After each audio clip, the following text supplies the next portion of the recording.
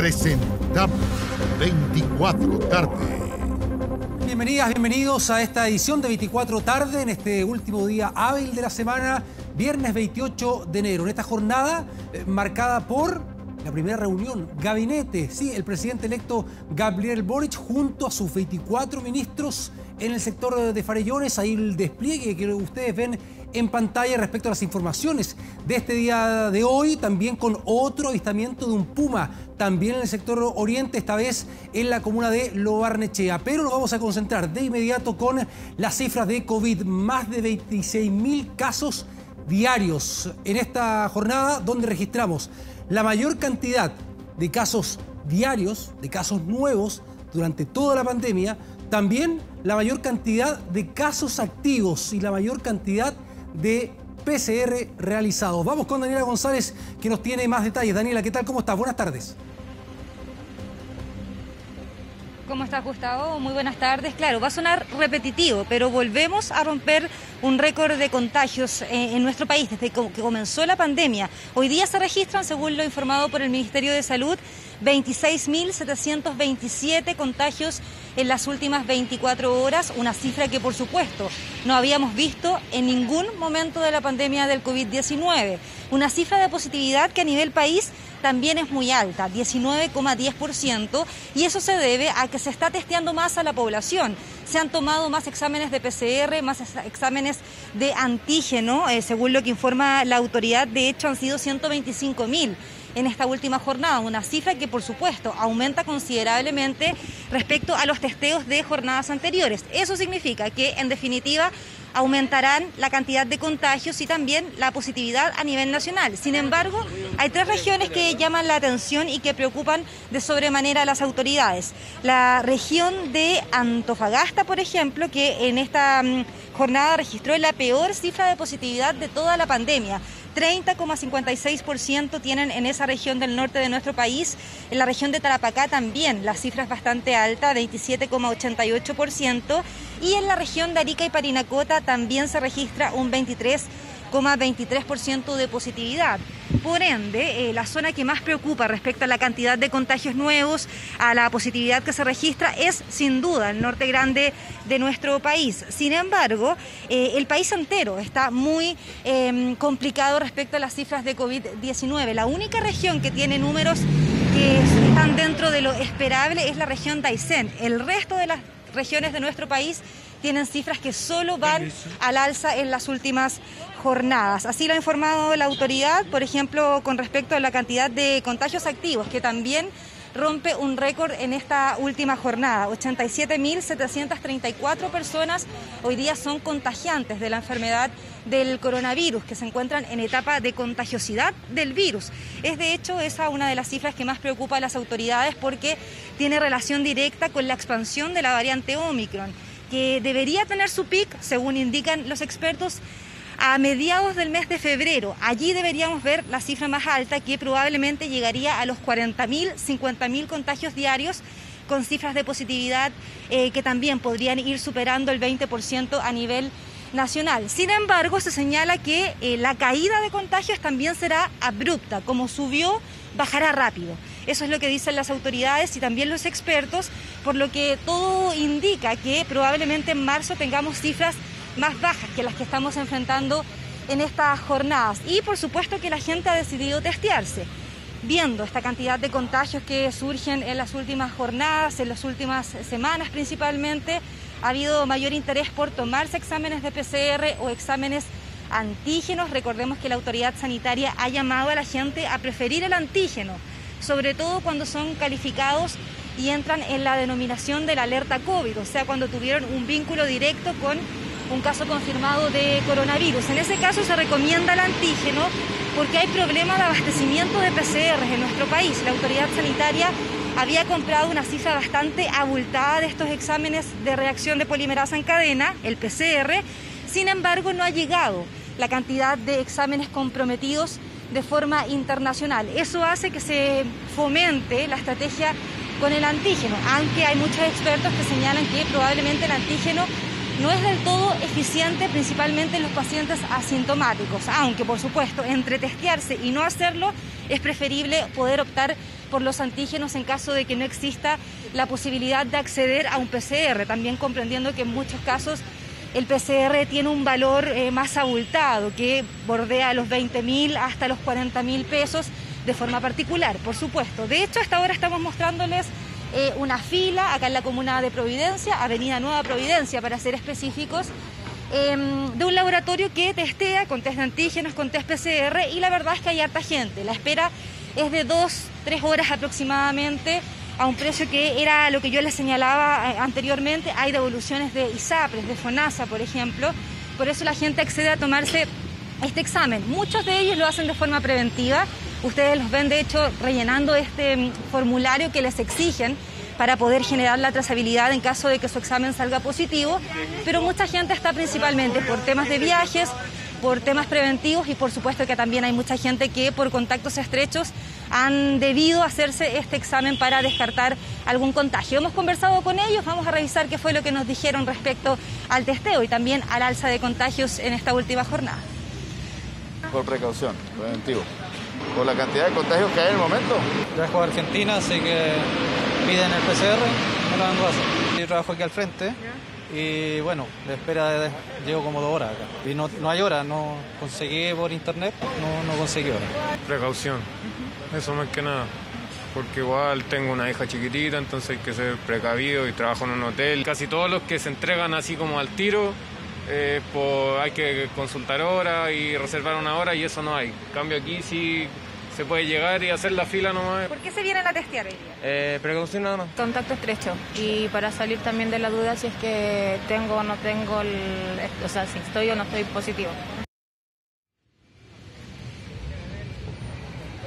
Bueno, vamos a seguir también revisando las cifras, las que tienen relación con los decesos asociados al coronavirus también en esta última jornada. Lamentablemente el Ministerio de Salud ha informado que 26 personas fallecieron en la última jornada a causa de esta enfermedad. Con eso la cifra ya asciende a 39.620 personas que han fallecido por coronavirus en nuestro país, un número que sin duda es preocupante. Es muy alto, pero más bajo que el resto de los países de Latinoamérica. Eso también lo destacaba ayer em, la autoridad sanitaria y tiene relación directa, por supuesto, con la vacunación y con el porcentaje de gente que hoy día está inoculada en nuestro país con su esquema y completo y también con la tercera dosis o la dosis de refuerzo. Eh, es importante señalar que el proceso de vacunación sigue siendo la estrategia número uno por parte del Ministerio de Salud. Eh, por eso mismo es que llaman a la gente a revisar el calendario de vacunación, por ejemplo, para la otra semana, eh, principalmente con la cuarta dosis, que la semana que viene seguirá priorizando a los funcionarios de salud, a los pacientes inmunocomprometidos, pero se comenzará con el proceso de vacunación en los ELEAM. Irán a vacunar a los adultos mayores para comenzar el proceso de forma ya más masiva la primera semana de febrero. Eso, por supuesto, que será informado por las autoridades. Sin embargo, el proceso de expansión de Omicron es rápido, lo estamos viendo en los contagios. Em, muchos expertos dicen que Omicron es hasta 10 veces más contagiosa que Delta y mucho más que Gama y es eso lo que ha significado que estemos viendo esta cifra de contagios tan alta, tan abultada en las últimas jornadas. Tres días consecutivos que hemos visto las cifras más altas de contagios de toda la pandemia del COVID-19 acá en Chile. Vamos a revisar reacciones de los expertos, por supuesto, refiriéndose a esta materia, a esta alza de contagios y a la peligrosidad que podría revestir la variante Omicron, pensando en las próximas semanas los números van a seguir aumentando. Desgraciadamente es muy probable que la próxima semana también superemos los números hasta ahora conocidos porque es lo que se está repitiendo de lo que ocurrió en Inglaterra, en Dinamarca, en Argentina. Probablemente el pic llegue en las primeras 10 días, 15 días de febrero y ahí esperamos que esto se comporte como ocurrió en los otros países en que comienza a descender. Sí estamos recibiendo reportes de que 3, 4 semanas después del aumento de los pic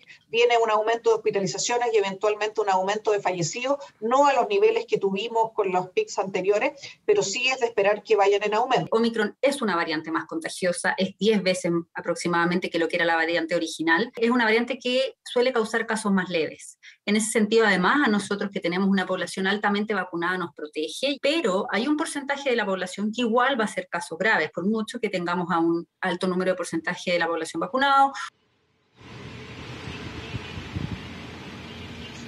Bueno, es importante también recalcar que hay cambios respecto al pase de movilidad, pero principalmente para la gente que se vacunó antes del 31 de agosto con la tercera dosis.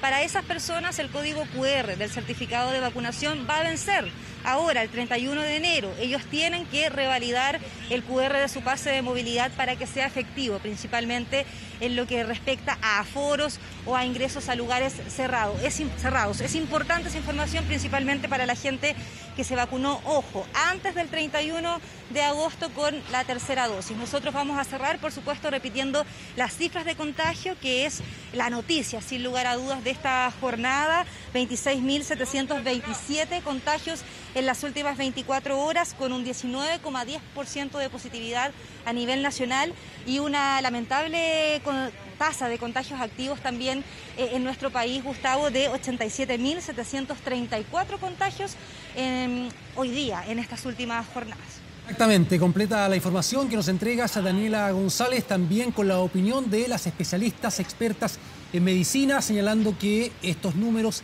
estas cifras irán en aumento. Recordemos, ya lo han señalado las autoridades sanitarias, ¿ah? que podríamos llegar a superar los 30.000 contagios diarios, incluso 35.000, otros aventuran a 40.000. Entonces la preocupación está, pero con cifras que seguirán en aumento, ¿no? con esta curva ascendente y de manera vertical, si lo vemos en, un gráfico respecto a estas cifras, con cinco regiones de nuestro país presentando la mayor tasa, la mayor cantidad de casos nuevos y activos durante toda la pandemia, el caso de Atacama, Valparaíso, Metropolitana, la región del Biobío y la Araucanía. Bien, Daniela, un abrazo, buena jornada, que esté muy bien. Vamos a otro tema, un nuevo avistamiento de un puma en el sector oriente de la capital. Recordemos, hace dos días se había visto un felino en la comuna de Los Condes, ahora en la comuna de Lo Barnechea. Esta vez el animal ingresó a una vivienda, atacó mortalmente a un perro. Más detalles de inmediato con la periodista Natalie Catalán. Natalie, buenas tardes.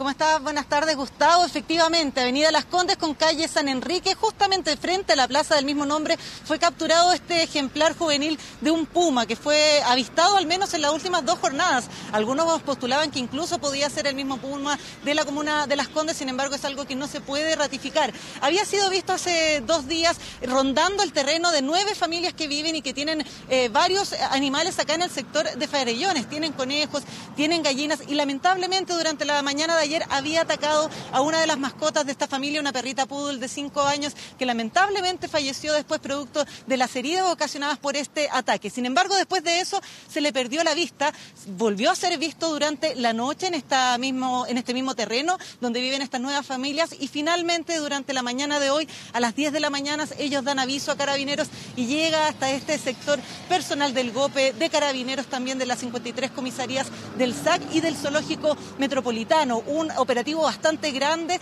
donde pudieron ubicar a este puma en una escalera que conecta el camino Farellones con San Enrique y pudieron eh, dispararle un dardo tranquilizador que finalmente provocó que el animal corriera por la calle y llegara acá hasta el sector donde nos encontramos ahora. Pudo ser capturado en buenas condiciones de salud aparente, fue trasladado al eh, zoológico metropolitano donde se le van a hacer todos los chequeos de salud para ver finalmente si puede ser liberado.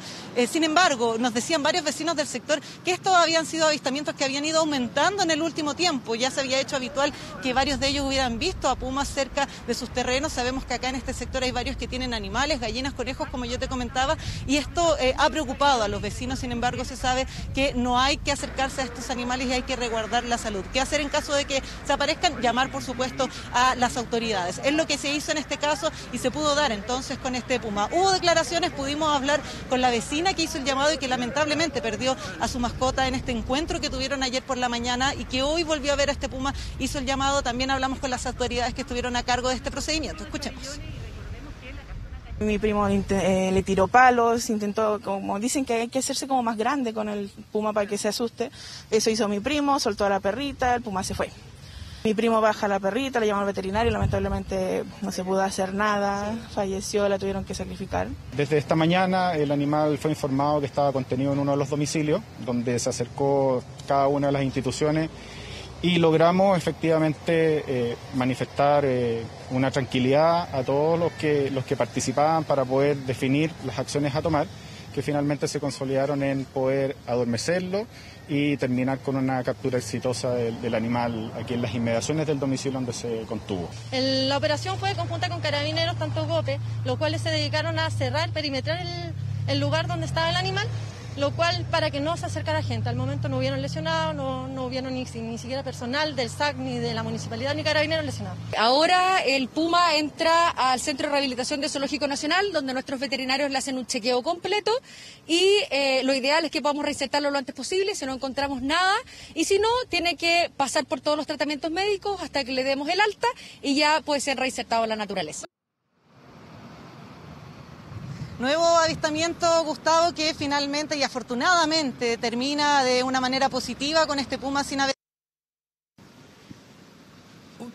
buena situación de salud que tiene que ser ratificada ahora, como nos decía la directora del Zoológico Metropolitano, por un veterinario para ver la posibilidad de que vuelva a su hábitat, a su ambiente, eh, poder retornarlo a la naturaleza, pero una situación que se ha vuelto cada vez más constante. Y como dato, para aquellas personas que vivan acá en el sector de Farellones, Las Condes, Los Barnechea y quieran dar aviso en caso de algún avistamiento, aparte de llamar a carabineros, también pueden llamar a Seguridad Ciudadana o al SAC. En el caso de llamar al SAC, el número es el 2234 51100 y cualquiera de estos teléfonos, Seguridad Ciudadana, su municipio, Carabineros o el SAC, con que avise alguno de ellos, se va a activar un operativo similar a este que afortunadamente terminó de buena manera tanto para los vecinos como para este ejemplar juvenil de Puma. Bueno, buena recomendación que hace Natalie, no actuar de iniciativa propia, ¿no? Teniendo en cuenta la peligrosidad que se pueda registrar al estar con este felino. Natalie, muchas gracias, buenas tardes, que esté muy bien. Seguimos en el sector de Farellones, ahí donde se realiza, se lleva a cabo esta primera reunión, encuentro formal del presidente electo Gabriel Boric con su futuro gabinete. Ahí está Pamela Araya, que también nos va a ampliar esta información. Pamela, buenas tardes. Hola Gustavo, buenas tardes. Estamos en el kilómetro 5 de camino a Farellones, afuera a unos metros de esta casona cañaveral que era la residencia de descanso veraneo del presidente Salvador Allende. El lugar elegido entonces por el presidente electo Gabriel Boric para tener este primer y trascendental encuentro, no solo con sus 24 ministros, eh, sino también con todos los representantes de Apruebo Dignidad y del socialismo democrático. Una cita a la que han llegado también cuatro personas que podrían ser subsecretarios eh, de distintas carteras. Hay que señalar y recordar que la nómina de quienes van a trabajar junto a los ministros todavía no está definida y podría conocerse el lunes o el martes. Pero hay rostros claves de los cuales les voy a estar contando un poquito más adelante, porque ustedes están viendo imágenes eh, de cómo fue esta especie de puesta en escena eh, para que los ministros llegaran uno a uno y por primera vez estuvieran todos, porque el viernes pasado, cuando fue nombrado el gabinete, la verdad es que algunos estaban, por ejemplo, con vacaciones, como la ministra de Relaciones Exteriores, otros estaban en aislamiento por COVID, entre ellos Mario Marcel. Pero hoy fue la instancia para que se pudieran conocer, ver las caras, conversar, también lo mismo con los presidentes eh, de Apruebo Dignidad y del Socialismo Democrático. Un encuentro que tiene un objetivo claro, que es delinear los objetivos programáticos eh, del futuro gobierno del presidente electo Gabriel Boric desde el 11 de marzo. Eso fue lo que dijo el futuro mandatario. Muy contento, muy contento. Eh, estoy muy motivado, esperanzado. Nuestra primera, no se aprende, no se aprende, nuestra primera reunión de, con todo el gabinete completo y vamos a, delinear los objetivos estratégicos de nuestro gobierno. Ya lo hemos conversado con los ministros por separado, pero es importante generar el fiato y un espíritu de equipo para que tengamos un gobierno pensando en quienes nos están viendo a través de las cámaras. Llegaron unos posibles subsecretarios, ¿se van a presentar subsecretaria hoy? perdón, eh, entiendo que la Camila, lo Camila, Camila, la ministra Vallejo lo avisó ayer también se le preguntaba por la situación de la migración. El, presidente dice que ese tema también es trascendental. Recordemos que su programa de gobierno también tenía páginas clave al respecto. Pero bueno, veíamos al presidente, yo le decía que habían llegado, llegado varios eh, ministros y todo esto se da en un contexto bien complejo, porque después del nombramiento del gabinete, que terminó con para recordarles nada más, siete independientes, cinco de Convergencia Social, el partido del mandatario, dos de Revolución Democrática, tres del Partido Comunista, uno de Federación Regionalista Verde Social, uno de Comunes, dos PS, un PPD, un PR, un Partido Liberal, bien. La situación con todo eso se complicó, porque de alguna manera en la prueba de dignidad, que el oficialismo a partir del 11 de marzo quedaron un poco molestos o inquietos porque decían que tenían que tener mayor representatividad. Pues bien, por eso es clave también esta reunión, porque de alguna manera es la primera vez que todos se van a ver las caras, quizás se poder decirse las cosas de frente y eh, de alguna manera conversar respecto de qué molestó, qué no molestó, qué pasa con los equilibrios y lo otro importante que también ha habido diferencias y respecto de esto del quinto retiro que el presidente electo Gabriel Boric ya le puso una lápida, lo mismo hizo Mario Marcel, pero una prueba de dignidad de algunos parlamentarios en el Congreso dicen que sí, que esto se tiene que impulsar. Son temas eh, que van a estar en manos del círculo cercano del presidente electo Gabriel Boric. Hablamos eh, de parte de su comité político, futura ministra del Interior, futura vocera y futuro ministro de Sexpress, Isquia Siches, Camila Vallejo y Giorgio Jackson, quien también hablaron sobre la situación que se está viviendo dentro del conglomerado y por supuesto el objetivo de este encuentro. Eh, van a venir algunos de los subsecretarios, así que ustedes lo van a poder, poder pasar. ¿Quiénes Voy van a a conversar antes de anunciarlo yo, porque soy yo soy muy ordenadita, ustedes saben.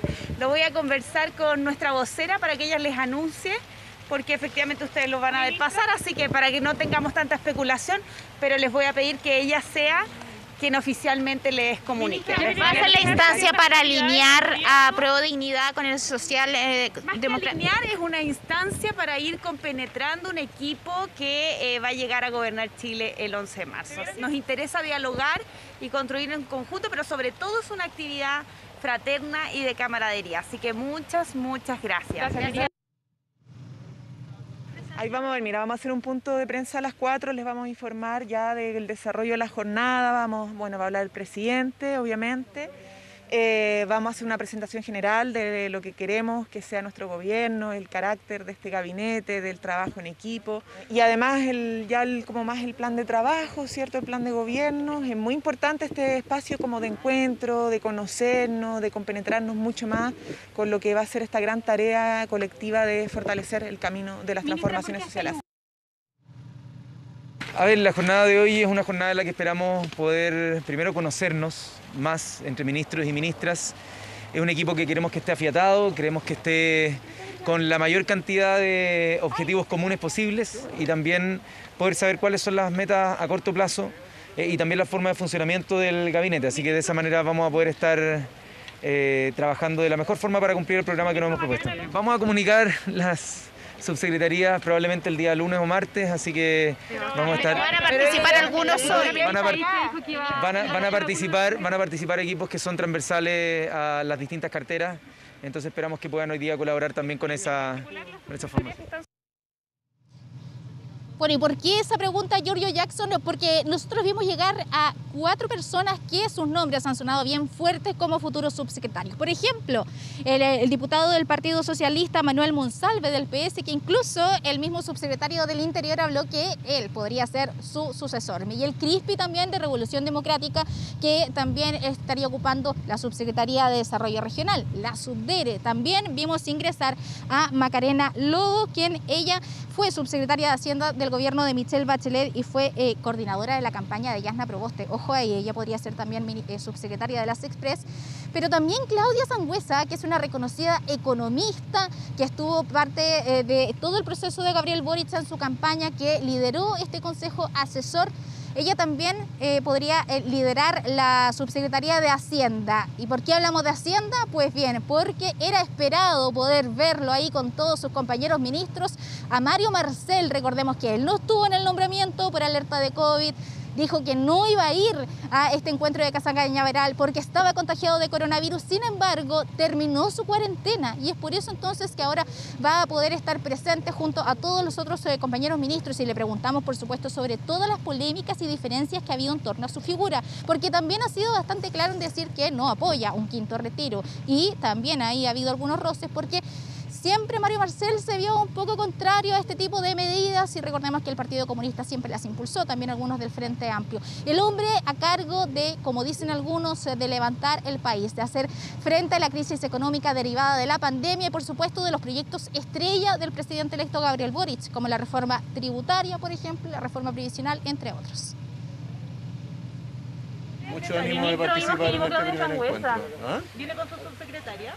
Eh, vengo solo por el momento. Bueno, viene recuperado para hablar sobre el quinto retiro, porque al menos adentro el Partido Comunista está a favor de este. ¿Cómo va a lograr afianzarse con Vamos a él? hablar de muchas cosas. Pero ¿ah? cuéntenos aquí un poquito sobre el Vamos a quinto hablar de retiro. los cuatro años de gobierno. ¿ah? ¿Pero qué le parece, ¿qué le esa parece lo que polémica, dijo? Jadwe de usted? No, no, yo no participo en ninguna polémica, me interesa tener la conversación ¿Y le parece que vamos a la responsabilidad fiscal entonces para estos cuatro años? Así es, esa es mi pega. Ministro, ¿se ha conversado sobre el Bueno, aquí hablaron prácticamente todos los ministros, mejor dicho todos, así que pasemos a revisar a otros futuros integrantes del gabinete. ¿Cuáles son los principales desafíos de su cartera, ministro? No, estamos, estamos todos trabajando precisamente para que el regreso a clases sea con todas las condiciones. Así que eso es lo que ha dicho el presidente. Las escuelas son Entonces se las primeras en retrata de lo que dijo en la Están las condiciones, 13. entonces. Porque la No, no, nunca nos retractamos respecto de que siempre hay que revisar, ¿no es Ah, cierto? ya. Sobre todo cuando hay un cambio de, de- de gobierno, hay que repensar, pensando en el interés superior de los niños, hay que siempre repensar todas las políticas, pero en ningún caso eso significa, y en eso no nos perdemos, que esperamos que la presencialidad sea la regla. un primer momento de intercambio donde el presidente va a presentar el marco más general de trabajo, sobre todo en los tiempos más cercanos. Yo creo que va a ser una muy buena jornada. ¿Cuál es el principal desafío de su cartera o los temas prioritarios, por lo menos para usted? La, la- la situación principal es el hecho de que hay un gran déficit de vivienda. Es el, el principal. También esta primera reunión entre los presidentes de los partidos de Apruebo Dignidad y del Socialismo Democrático. ¿Qué se espera de eso y de la relación que van a tener de cara al gobierno? Espero que trabajemos muy bien juntos, porque aquí el desafío es llevar adelante el programa y responderle a la ciudadanía. Yo creo que vamos a trabajar muy bien. Bueno, tener una muy buena jornada, el primer momento que vamos a tener una jornada de trabajo, todas las ministras y todos los ministros, así que creo que es un, es un evento importante para efectos de, de tener un equipo fuerte y de, de conocernos más y de prepararnos respecto a los grandes desafíos que tenemos como gobierno. De convencer a prueba de dignidad de que el cuarto retiro no sería tan bueno como dice el presidente. No me voy a, no me voy a manifestar. ¿Estaría definido su subsecretario? Eh, entiendo, que la, entiendo que la mayoría de las subsecretarías están, están definidas. Bonito, es un lugar espacioso para poder conversar en un momento importante del presidente con todas las ministras y ministros. Un símbolo importante también para la relación de de dignidad y con el socialismo democrático, quizás juntarse acá. Sí, a mí me gusta la palabra socialismo, solamente, eh, siempre lo he dicho, así que todos somos democráticos, todos quienes estamos acá, y eso es lo importante, queremos lo mejor para Chile. Ministra, los desafíos para su futura cartera desde marzo. ¿Algo Ahí los veremos después, vamos a tener la conversación primero y la coordinación con el presidente. Muchas gracias. Y por primera vez eh, tuvimos la posibilidad de ver a la futura ministra del Deporte, Alexandra Venado. Recordemos que el mismo día que fue nombrada a través de redes sociales, algunos de los eh, ex trabajadores de Londres eh, 38 dijeron que habían sufrido maltrato laboral y hostigamiento de parte de ella. Esto escaló. Algunos trabajadores incluso enviaron una carta al presidente electo Gabriel Boric reiterando esta situación. Y la misma institución, Londres 38, incluso a través eh, de un estudio de una mesa externa, dijeron que sí, que hubo unos problemas de clima organizacional, sin, eso sí, aludir directa- directamente a quien era la coordinadora. En ese tiempo hablamos eh, de Alexandra Venado. ¿Qué dijo sobre esta situación? La escuchamos de inmediato. Eh, Obviamente que ha salido esa situación, por supuesto. Hoy día nosotros tenemos una reunión de trabajo, así que estamos esperando que llegue el presidente, yo tengo que trabajar. Eh, espero efectivamente que esta situación en algún momento se aclare. Eh, creo, creo, que, creo, creo que Londres 38 hizo una aclaración eh, y por supuesto que yo siempre voy a estar dispuesta a dialogar, a conversar, a escuchar. Es parte de, de mi tarea, eh, va a ser parte de mi tarea, por supuesto, como ministra. Así que eso, mientras tanto vamos a trabajar. Muchas gracias, que le vaya bien. Un encuentro marcado por las tensiones entre apruebo de dignidad, también por el quinto retiro y por supuesto porque de aquí en adelante ya se marca el camino para que el 11 de marzo se instale el gobierno. Hay que decir que las conclusiones las conoceremos recién tipo cuatro y media de la tarde cuando haga una vocería Camila Vallejo, la futura ministra secretaria general de gobierno, pero eso no significa que haya terminado porque se espera que concluya tipo 9 de la noche. Muy importante ¿eh? porque el próximo viernes el presidente electo va a tomar sus vacaciones eh, para descansar un poco, aunque es bien difícil que se desconecte la verdad. Muy bien, Pamela Araya, completísima la información. Atentos entonces a nuestras ediciones de Canal 24 Horas respecto a esta reunión del presidente electo Gabriel Boric junto a su gabinete. También la próxima semana, ¿no? Con el nombramiento de las 39 subsecretarías. Pamela, un abrazo, que esté muy bien. Buenas tardes.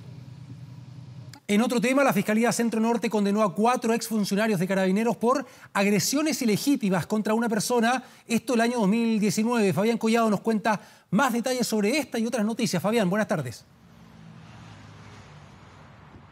Muy buenas tardes, Gustavo. Brutales agresiones en contra de un sujeto de 42 años, el cual había sido eh, detenido por conducir en estado de ebriedad en eh, los días previos al estallido eh, social. Lo que ustedes van a ver en las imágenes de las cámaras de seguridad corresponden al SAR de la comuna de Renca, ya que la víctima había sido capturada en el exterior de su domicilio y posteriormente todo el procedimiento de rigor implica trasladarlo hasta la unidad policial que queda en la plaza de Renca y posteriormente al SAR para poder constatarle Ustedes están viendo las imágenes, porque todo esto eh, se inicia en horas eh, de aquella madrugada cuando él, en ese entonces eh, detenido, esposado, sale de un carro policial y se habría abalanzado en contra de uno de los funcionarios policiales. En un primer instante, según la investigación liderada por parte de la Fiscalía Metropolitana Centro Norte, tenían una actitud defensiva a los funcionarios policiales, pero de ahí pasaron a una ofensiva, golpiza que le dieron a este sujeto, estamos hablando de golpes de puño, golpes eh, de pies constantemente en el exterior, en el estacionamiento del SAR de la comuna de Renca, lo que ustedes están viendo en pantalla, lo cual eh, fue protagonizado por dos cabos, un carabinero y estaba todo esto siendo visto por un sargento, todos pertenecientes en ese entonces a la séptima comisaría de Renca. Luego de todas estas agresiones lo hicieron ingresar hasta el interior de dicho recinto asistencial y en una de las bancas eh, luego comienzan a golpearlo nuevamente e incluso lo intentan asfixiar, como se puede ver en las imágenes de las cámaras eh, de seguridad. Por lo anterior es que la víctima eh, realizó la denuncia eh, respectiva y el Departamento de Asuntos Internos de Carabineros, la Brigada de Derechos Humanos de la PDI, fue encomendada para poder realizar toda la investigación de rigor liderada por parte de la Fiscalía Metropolitana Centro Norte. Por lo mismo, la Policía Uniformada en su momento dio de baja a estos cuatro funcionarios y posteriormente se llevó a cabo todo el proceso judicial. ¿Qué terminó en qué? Que fueron condenados, fueron declarados culpables entonces el carabinero Miguel Padilla Canullán, eh, también el cabo Jesús Martínez Aranguis y el cabo Cristian Abrigo Marín, por la hipótesis comisiva de aplicaciones de dichos apremios. Y el sargento Pedro Espinosa, en la hipótesis omisiva consistente en no impedir ni hacer cesar la aplicación de los apremios, algo que no se había visto. O sea, él omitió en ningún minuto, él eh, le dijo a sus subordinados que detuvieran esta golpiza en contra eh, de este detenido aquella madrugada del día 8 de septiembre del 2019, sino que simplemente eh, dejó eh, que siguieran continuando con estos golpes en contra del detenido, el cual posteriormente tuvo que ser derivado hasta un recinto asistencial por sus diversas lesiones y por poco podría haber quedado inconsciente luego de una de las asfixias que fueron aplicadas por parte de estos funcionarios policiales. Proceso judicial entonces liderado por parte del Ministerio Público de la Fiscalía Metropolitana Centro Norte, otorgado eh, por el eh, Tribunal Oral en lo penal, eh, donde quedó clarísimo, según el segundo tribunal, que los, las pruebas fueron claras, concordantes, precisas y completas para poder sustentar estos hechos expuestos en la acusación de la Fiscalía. ¿Qué es lo que va a pasar ahora en medio de este proceso judicial? El próximo jueves 3 de febrero se va a conocer la sentencia que van a tener que cumplir estos otrora funcionarios de carabineros que protagonizaron esta brutal agresión en los días previos al estallido social. Vamos a revisar declaraciones por parte de la Fiscalía Metropolitana Centro Norte, al igual que el alcalde de la comuna de Renca. Y hoy día el veredicto eh, es... Eh, eh, contundente respecto de eh, lo que significan eh, las sanciones que trae aparejada esta situación. A nosotros nos parece que cualquier caso donde se vulneran los derechos humanos, en el caso de Renca de nuestras vecinas y vecinos, debe ser denunciado. Es que acá se ha condenado a tres funcionarios de carabineros que realizaron una agresión activa en contra de una persona detenida pero además se condenó al jefe del turno, al carabinero con más alta graduación, que presenciando esta agresión activa no hizo nada, no la impidió estando en posición de hacerlo. Y esto también mereció este veredicto condenatorio. Quedamos muy alerta respecto a la sentencia que se va a dar a conocer durante la próxima semana, qué es lo que van a tener que cumplir efectivamente estos ex funcionarios de carabineros. Y nos quedamos en la misma comuna para poder comentarles que encuentran nuevos restos de eh, María Amparo Velázquez de 62 años, eh, víctima por parte de su yerno en el Cerro de Renca. Recordemos que ayer les estábamos contando respecto a esta historia, eh, cuando el servicio en cargo eh, de personas pudo establecer la responsabilidad de este sujeto, el cual había inventado que la víctima se había ido a la región de Valparaíso con alguien que había conocido por redes sociales, específicamente a San Antonio rápidamente la investigación por parte de la policía uniformada eh, pudo establecer que eso era una mentira y luego durante la jornada de ayer se detuvo a este sujeto el cual eh, ya fue puesto a disposición de la justicia Roberto Márquez de 41 años y va a ser formalizado durante este fin de semana porque este, el inculpado eh, descuartizó a su suegra. Luego eh, puso restos eh, de ella en diferentes eh, bolsas, según lo establecido, y las arrojó en el Cerro de Renca para darse a la fuga, inventando en medio toda esta historia. Por lo mismo, ha sido difícil la labor por parte del Laboratorio de Criminalística, también el equipo de adiestramiento canino de carabineros, al igual que el servicio en cargo de personas, los cuales se han desplegado durante toda la jornada en el Cerro de Renca y han habido nuevos hallazgos del cadáver que fue descuartizado de María Amparo Velázquez entonces ciudadana venezolana con más de tres años de residencia en nuestro país. Vamos a revisar las declaraciones que entregó Carabineros eh, respecto a la última información durante esta jornada y también de la hija de la víctima. Persona tranquila, como que si no hizo nada, una persona normal, que es lo que nosotros estamos impresionados por la forma de actuar de él hasta lloraba en el brazo de nosotros. Era el padre de mis hijos y tantos años viviendo con él, imagínate, no llegar a conocerlo nunca. Es algo súper duro. Entre la pareja que yo tenía, pues y mi mamá, era muy mala, muy mala. Mayormente vivían peleando. Está trabajando intensamente con la finalidad de dar con la ubicación del resto de los segmentos del cuerpo que lamentablemente faltan de esta persona, con la finalidad de que obviamente sean periciados y con la igual finalidad de determinar la identidad de este resto de los segmentos. Hay un segmento importante del cuerpo que ya fue ubicado, que es particularmente el torso, y el resto de los otros eh, se está trabajando con la finalidad de lograr su ubicación. Entonces, diferentes peritas que ha desarrollado este equipo multidisciplinario de carabineros no van a cesar en aquellos eh, trabajos que están realizando en el Cerro de Renca para poder aportar todos los antecedentes ante la audiencia de formalización de cargos del yerno que habría asesinado a su suegra. Vamos a revisar otra información. Nos trasladamos a la comuna de Estación Central con la detención de la Reina del Sur. Estamos hablando de esta mujer de 37 años, la cual fue puesta a disposición de la justicia por el homicidio de un padre de familia de 41 años, el cual había estado vacacionando en las Siete Tazas. Al inicio de esta semana les estuvimos contando. Había viajado en un bus pirata junto a sus hijos de 13 y 14 y en la parte posterior del terminal de buses eh, sur fue asesinado.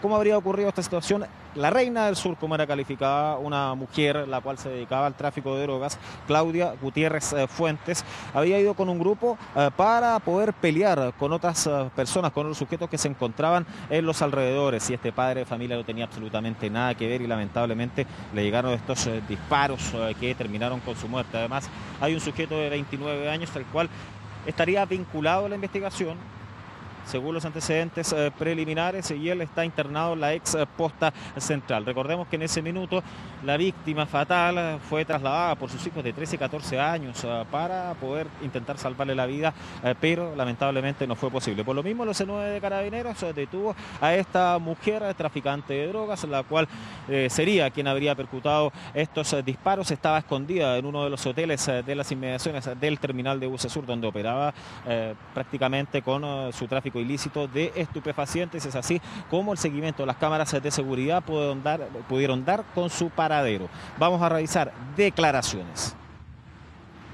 Se logró la identificación de los participantes, presuntos participantes en delito de homicidio y lesiones, concretándose la detención de una de ellas y a la vez la incautación de un vehículo. Quien dispara en banda, dispara eh, con la finalidad altamente probable de herir a uno o varios de las personas en situación de calle y una de las balas alcanza lamentablemente a este señor que venía de sus vacaciones. Víctima absolutamente inocente. No había ningún vínculo entre este padre de familia y estos sujetos eh, que se estaban enfrentando a disparos en el exterior del terminal de buses sur de la comuna de Estación Central, Reina del Sur, porque ella era calificada de esa manera debido a la conocida teleserie y también a su gusto eh, por las joyas, eh, por operaciones, etcétera. Vamos a revisar otra información, nos trasladamos a la comuna de Macul. Un accidente insólito que ocurrió en Monseñor Carlos Casanueva con padre Luis Kerves, eh, que es la continuación eh, de Maratón. Ustedes están viendo que esta máquina del recorrido de 13 terminó al interior del Sanjón de la Guada. Su conductor iba rumbo a uno eh, de los terminales del ex sistema Transantiago cuando se habría descompensado y por lo mismo perdió el control de este vehículo y terminó al interior del canal. Bomberos de Ñuñoa tuvo que llegar con el fin de poder realizar la estabilización eh, del afectado, el cual luego fue derivado hasta un recinto asistencial y además se pudo también corroborar que no había ningún pasajero al interior. Durante esta mañana esta máquina fue retirada desde el interior del Sanjón de la Guada y de todas maneras hay una investigación que se está desarrollando por parte de carabineros y revisemos esas declaraciones. Un móvil del Transantiago quien transitaba por Avenida Maratón, por motivos que se desconocen, pierde el control del móvil, ingresando al lecho del Sanjón de la Guada, forma que la persona mantenía una descompensación eh, por problemas de salud. Eh, fue trasladado al centro asistencial para su atención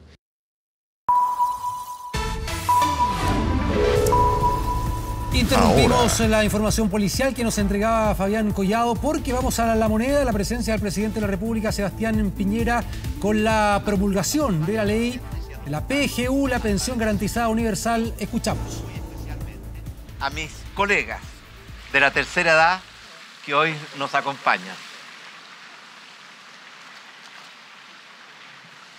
Yo recuerdo mucho a mi padre, porque cuando éramos niños siempre nos decía que Chile era un país ingrato con los adultos mayores. Y agregaba que a muchos adultos mayores los visitaban los cuatro jinetes del apocalipsis. Nunca se nos olvidó. La vejez, la pobreza, la enfermedad y la soledad. Por eso, hoy es un día muy importante para Chile. Y especialmente para nuestros adultos mayores. Pero también para los que van a ser adultos mayores en el futuro. Porque hoy publicamos la ley que crea la pensión garantizada universal. Y estamos dando un gran paso adelante para tratar a nuestros adultos mayores con mayor dignidad, con mayor cariño, con mayor gratitud y avanzar en nuestro compromiso como gobierno de mejorar la vida de los adultos mayores a través de muchas iniciativas. Por ejemplo, el programa Adulto Mejor, que lo lidera la primera dama y que busca integrar más y mejor a los adultos mayores a la vida, al mundo de la cultura, de la salud, de la educación, del trabajo, del deporte, de la sociedad. Y además, hoy tenemos la gran alegría de un paso más hacia ese objetivo a través de la pensión garantizada universal, que asegura, que asegura 185 mil pesos adicionales, porque se suman a la pensión, se agregan a la pensión que cada uno tiene financiada con sus propios ahorros provisionales. Y además, esta pensión garantizada universal que se va a pagar a los adultos mayores de 65 años, estén trabajando o estén pensionados, es una pensión que solo excluye a las personas que corresponden o pertenecen al 10% de mayores ingresos en nuestro país. Pero esta ley, además de crear la pensión garantizada universal, que va a beneficiar a dos y medio millones de personas, o sea, prácticamente a todos nuestros pensionados y también a los futuros pensionados, contempla otros beneficios, como aumentar el monto y la cobertura de hecho, la cobertura crece del 60 al 80% del pilar solidario y de la pensión solidaria de invalidez. Y además aumenta también la cobertura desde el 20 al 60% más vulnerable del subsidio de discapacidad que hoy solo beneficia a los que tienen discapacidades mentales. Ahora agregamos también la discapacidad física o la discapacidad sensorial. En síntesis, es un proyecto que ya es ley, que va a mejorar la vida de millones y millones de pensionados chilenos. En total, los nuevos beneficiarios son 2,5 millones de compatriotas, o sea, prácticamente todos los adultos mayores de nuestro país. Y estos nuevos beneficiarios, ¿cierto? Significa que agregamos 600.000 personas que hoy día no estaban cubiertas o favorecidas por el pilar solidario, sí van a ser favorecidas por esta pensión garantizada universal. Y de esas 600.000 personas que se incorporan, la inmensa mayoría son mujeres y son de clase media. Con lo cual estamos, en cierta forma, recuperando el tiempo perdido e incorporando a nuestra clase media y a nuestras mujeres a los beneficios de la pensión garantizada universal. Quiero agradecer muy sinceramente al Congreso, a las comisiones de Trabajo y Hacienda, porque hicieron un trabajo comprometido, un trabajo dedicado que nos permitió sacar en forma oportuna esta ley. Agradezco a tantos diputados y senadores que sé que trabajaron mucho por lograr que un proyecto se transforme en una ley. Y también quiero agradecer muy especialmente al equipo de gobierno que se dedicó en cuerpo y alma, el ministro del Trabajo, el ministro de Hacienda, el ministro del Interior, el ministro secretario general de gobierno, porque para nosotros era un compromiso del alma, un compromiso moral. Y queremos decir que gracias a este esfuerzo de todos, vamos a poder empezar a pagar estos nuevos beneficios durante este mes de febrero. El próximo martes primero de febrero, las personas que se incorporan a este beneficio, esas 600.000 personas, van a poder registrarse en la página web del IPS. Y a partir del viernes 18 de febrero, vamos a empezar a pagar estos nuevos beneficios a la inmensa mayoría de las personas que van a tener este derecho. Por supuesto que es algo que nos produce mucha alegría y mucha emoción, porque sabemos que esto es un anhelo de nuestros adultos mayores que venía hace tanto, tanto tiempo. Pero hay algo que quisiera reflexionar que va más allá de la pensión, porque los años arrugan la piel, pero solo la pérdida de los ideales arruga el alma. Y yo siento que nuestros adultos mayores no han perdido sus ideales. Sus ideales están más vivos que, que, nunca y por lo tanto su alma está joven. Y en consecuencia, con la pensión garantizada universal, que ya es una realidad, van a poder seguir, seguir soñando, seguir emprendiendo, seguir sembrando lo que han sembrado a lo largo de sus vidas. Familia, amor, hijos, nietos, bisnietos, amistades. Y queremos que en esta tercera etapa de la vida puedan seguir soñando, seguir sembrando, seguir viviendo. Un famoso cantante decía, darle más años a la vida y más vida a los años. Y tenía mucha razón, porque esta ley le va a permitir a muchos adultos mayores enfrentar el presente y el futuro con más esperanza, con más alegría, con más oportunidades. Y también seguir desarrollando sus ideales, porque los adultos mayores tenemos la experiencia de los años, pero también tenemos la juventud de los ideales. Y es una etapa que mucha gente mira con temor, pero que debe ser una etapa en que podamos seguir desarrollándonos en plenitud, seguir siendo felices. Por último, esta pensión garantizada universal también va a beneficiar a todos los futuros pensionados uno siempre ve la pensión o la jubilación o la tercera edad como algo muy distante. Yo recuerdo una caricatura, un, un dibujo, en que iba un niño en un coche y se cruza con un adulto mayor en otro coche, distinto. Y el adulto mayor le dice al niño, aprovecha el viaje porque es corto. Y es verdad, la vida es corta y no vale la pena perderla en cosas pequeñas. Hay que saber separar la paja del trigo. Y esta ley les va a dar más tranquilidad, más seguridad, más oportunidades, más esperanzas. En pocas semanas más termina nuestro gobierno. Y lo quiero decir desde el fondo del alma.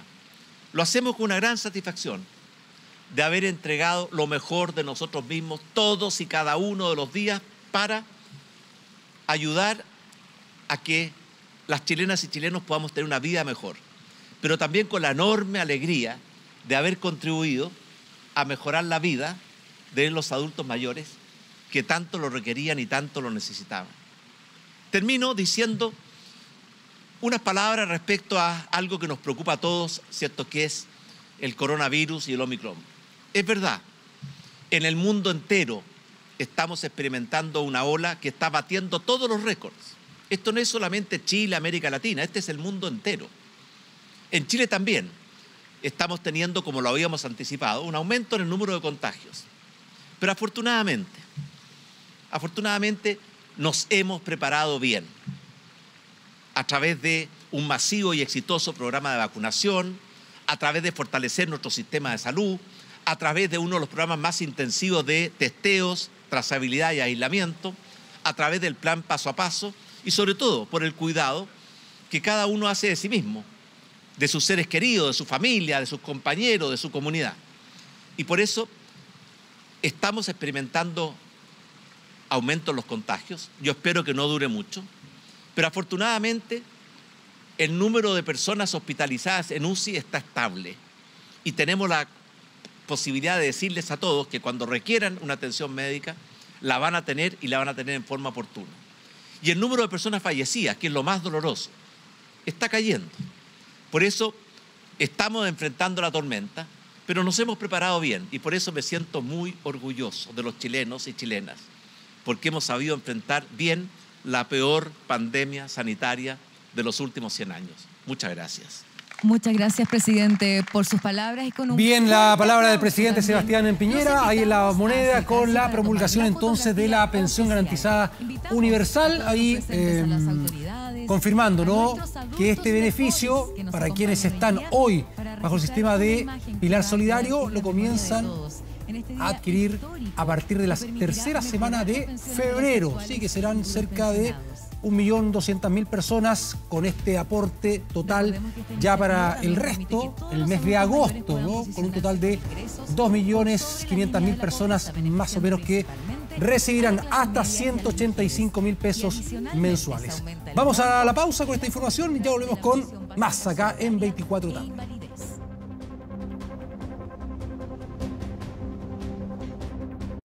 Estamos viendo 24 tarde. Seguimos con la información y en el ámbito policial con la siguiente historia. Se hacen pasar por clientes para robar carne de alto valor en supermercados. Ahí lo estás viendo en esta imagen, ¿no? Esta banda de mecheros denominada Los Turbazos en la ciudad de La Serena. Yerko Ábalos nos cuenta detalles respecto a este hecho. Yerko, ¿qué tal? ¿Cómo estás? Buenas tardes. Mecheros carnívoros, ¿cómo estás Gustavo Huerta? Gusto de saludarte desde la región de Coquimbo para mostrarle de inmediato imágenes que pudimos obtener en las últimas horas, el registro de una mujer que graba estos mecheros, los turbazos, como tú muy bien anticipabas, en pleno actuar al interior de un supermercado sacando kilos y kilos de carne. Ahora, no es primera vez que lo hace esta banda, que es liderada precisamente por una mujer, la que vemos en pantalla. Tenemos diferentes registros porque además en las últimas horas la CIP de Carabinero en conjunto con policía especializada, dieron con el paradero de dos. Pero antes, por favor, vean las imágenes que deja eh, al descubierto el actuar de estos sujetos que no demoran más de 60 segundos. No es primera vez que lo hacen. Por lo mismo ya le seguían el rastro en el supermercado de las compañías, en el supermercado de la Florida, dos sectores bien conocidos acá en la capital regional de la región de Coquimbo, la ciudad de La Serena. Precisamente ellos se movían por los datos en los lugares donde podían hacer y además como demoran poco tiempo es que llevaban a cabo este tipo de hecho como ustedes lo pueden ver y que además está muy bien retratado desde cuando ingresan, incluso sacando algunas botellas del sector eh, de botillería y otros elementos, pero sí se fijaban principalmente en la carne de alto valor para luego ser comercializada. Ahora eran bastante agresivos y eso hace cambiar la figura por la cual fueron formalizadas hace pocos minutos. De hecho, la guardia, cuando logra advertir que estos sujetos ya estaban actuando adentro, intenta detener el paso, pero son agresivos, que no tienen problema en romper botellas para hacerle frente al actuar de la seguridad, que además en este tipo de recintos la seguridad está a cargo de empresas privadas. Así nos respondía el delegado presidencial en las últimas horas. Algunos antecedentes nuevos, hay quienes nos cuentan que no es primera vez, los clientes conversaban con nosotros en las últimas horas, porque además hay que considerar que gracias al trabajo de los equipos regionales, este video nos llega a TVN y desde ahí que ya en las últimas horas se ha ido viralizando en las redes sociales, pero quienes primero podemos dar con la noticia y llegar a tener más detalles es el equipo de 24 horas. Escuchemos qué nos dijo la gente y también qué dice la autoridad. No, si yo he visto más todavía, yo he visto y no digo nada porque le pueden pegar a uno. Ya han pasado varias veces que roban, vuelven y entran y salen así como si nada. No es como antes que uno podía salir con toda tranquilidad. Probable. Esperar que con un nuevo gobierno podamos hacer algo distinto. Está complicada la delincuencia. De la sección de investigación policial de la primera comisaría La Serena, logramos desbaratar una banda dedicada al robo con intimidación al interior de supermercados, delito más conocido como turbazos, deteniendo a dos individuos, entre ellos una mujer, quien sería la líder de este grupo, siendo esto responsable de diversos robos cometidos al interior de distintos supermercados en el sector de la Florida durante esta última semana. Además, seguimos trabajando para poder dar con el paradero de la totalidad de los integrantes de esta conocido como Los Turbazos. Escuchábamos a carabineros de la primera comisaría de La Serena con un trabajo importante también de la CIP. Hace pocos minutos fueron formalizados por robo con intimidación porque efectivamente, como nos decía Carabinero, en las últimas horas dan con la líder de esta banda, una mujer, y pasan a 45 días de prisión preventiva. Acaba de finalizar esta formalización. No fueron solo por hurtos como mecheros, sino que hubo un detalle que cambió la historia. Exhibir botellas a personal en señal de intimidación cambia la figura penal, cambia el delito a robo con intimidación, que sería más grave formalizados por dos hechos de robo con intimidación. O sea, características del delito, la cantidad de hecho y también eh, la prognosis de pena, ¿cierto? La medida cautelar es más intensa, quedaron en prisión preventiva, como ya te, te comentaba, Gustavo, 45 días de plazo de investigación, dos delitos de robo con intimidación, esto según el artículo 436. El primer eh, súper que intentaron además eh, apoderarse fueron más de 100 kilos de carne, licor, especies que están evaluadas también en 2.344.000 pesos y uno de los imputados amenaza con lanzar botellas a las guardias, es por eso que cambia la figura. Bueno, 47 unidades de salame ahumado, el detalle nos llega a esta hora porque hace pocos minutos se llevó a cabo la formalización, especies evaluadas en más de un millón de pesos, también lo mismo las amenazas al guardia, los empujones, todo eso hace que la figura cambie. Vamos a continuar muy atentos porque de momento esta agrupación solo han caído dos, está desbaratando, sin embargo no deja de llamar la atención Gustavo el modo de actuar, las cámaras de seguridad que muestran el momento y menos de 60 segundos se demoran en llevar a cabo esta situación. Exactamente, increíble, ¿ah? con esas imágenes que tú vienes, nos señalas con todo ese relato. Yerko Ábalos, muchas gracias desde la región de Coquimbo. Un abrazo, que esté muy bien.